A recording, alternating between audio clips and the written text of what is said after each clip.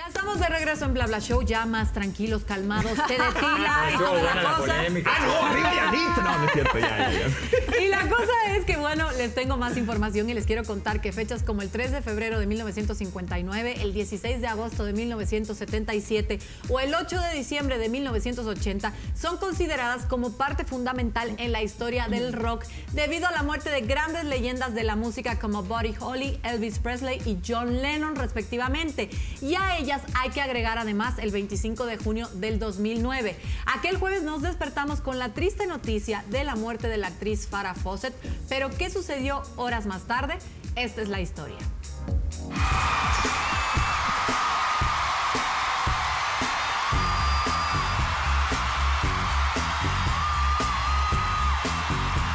Hace una década se extinguió a la luz de uno de los más grandes ídolos musicales de la historia, creador de innumerables temas que han quedado grabados en la memoria colectiva, sus coreografías y temáticas líricas han hecho de Michael Jackson una leyenda inigualable.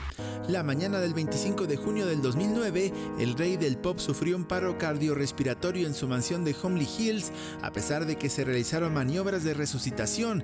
Jackson fue declarado muerto a las 2.26 de la tarde. A partir de ese momento se comenzaron a especular infinidad de posibles hipótesis con respecto a su deceso. El primer informe calificó su muerte como consecuencia de la combinación de calmantes en el que el principal sospechoso era su médico de cabecera Conrad Murray. Los forenses del Instituto Forense de Los Ángeles señalaron que la muerte de Jackson había sido provocada por una intoxicación de Profopol suministrada por Murray. Su funeral fue público y se celebró el 7 de julio del 2009 en el Staples Center de Los Ángeles, California, ceremonia que fue vista por más de 2.500 millones de personas alrededor del mundo. En este evento participaron celebridades como Stevie Wonder, Lionel Richie, Mariah Carey, Usher, por mencionar algunos. El sepelio de Michael se suscitó el 3 de septiembre en el cementerio Forest Law en Los Ángeles, California. Michael Jackson dejó en vida un listado interminable de creaciones musicales, visuales y artísticas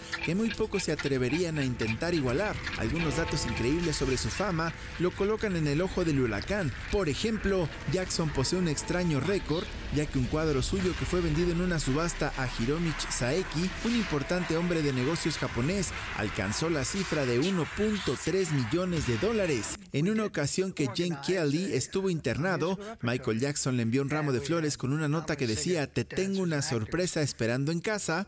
Dicha sorpresa eran los zapatos que Jane Kelly había usado en la cinta bailando bajo la lluvia, bañados en bronce, junto a una placa que decía eres el mejor bailarín del mundo, MJ.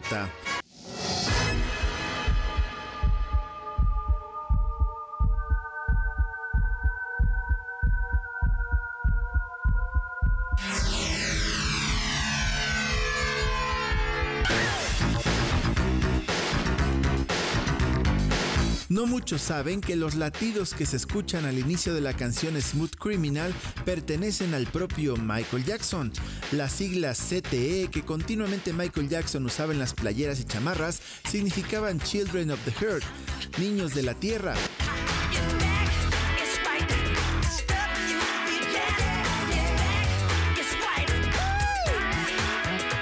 Su videoclip Black or White fue el primero en utilizar la tecnología llamada metamorfosis para modificar los rostros en secuencia.